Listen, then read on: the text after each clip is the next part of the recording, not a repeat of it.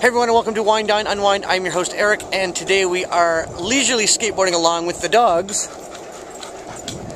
in downtown Fredericton on the new uh, paved trail system around the city.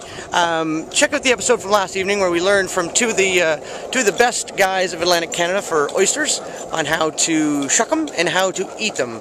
Check it out.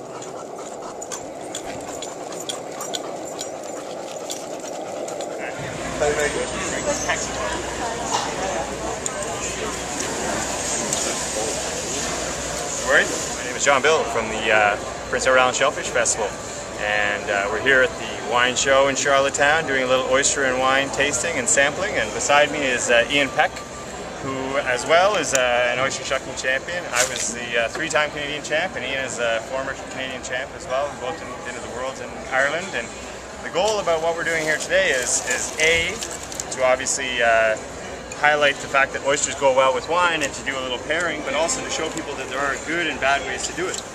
And uh, I'm going to get Ian to show everybody, because I'm left-handed, so I do everything a little bit backwards for most people. Ian is right-handed. There's your there's your oyster, and it's got two shells, the top and the bottom. So you like to take your knife and you can put it in the hinge there. That's where the, the uh, oyster actually opens up. Cool. So you just take your knife and you pop it in, and you just want to hold that oyster shell up, and just take your knife and just scrape that adductor muscle from the top shell, nice and clean. Before you separate the bottom, I just want to make sure there's no grit so people aren't chewing on sand. Mm-hmm. And I just take my knife, scrape that bottom shell off, the meat, and there's a nice clean oyster shark for you there. Cool. You gonna eat that? Sure. just how do you eat it? a little lemon. Yep. Perfect. Now you just, just pop let it that go. back in, two chews and down the hatch. Cool. You always want to chew it because you get some flavor.